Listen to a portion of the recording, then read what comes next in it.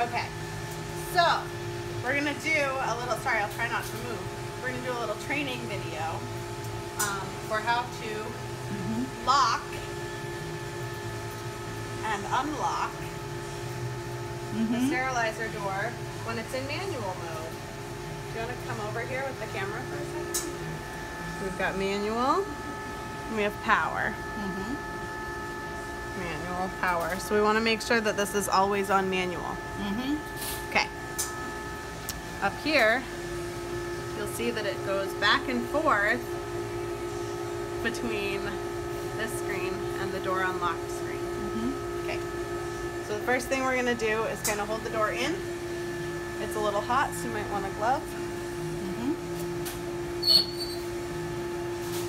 Start to turn it these mm-hmm. go up into their little holes. And come over here. You can take your mm-hmm. glove off. Turn, turn, turn, turn, turn, turn.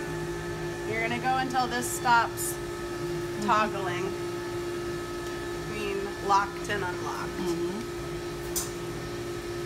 I think we might be done. Nope. Do one more.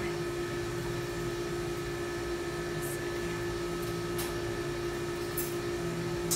see. It's done. You see it flash? I don't know if you saw it flash. It kind of flashes. Okay. So now you could start your load. We're not going to start our load. Okay. All right. Now, we don't need the glove anymore.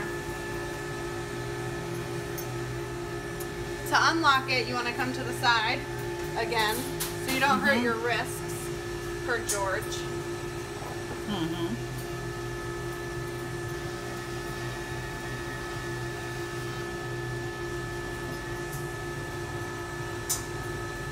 You're gonna go righty tighty to lock it, and you're gonna go lefty loosey to unlock it. Mm-hmm. It's done. Then you can open the door.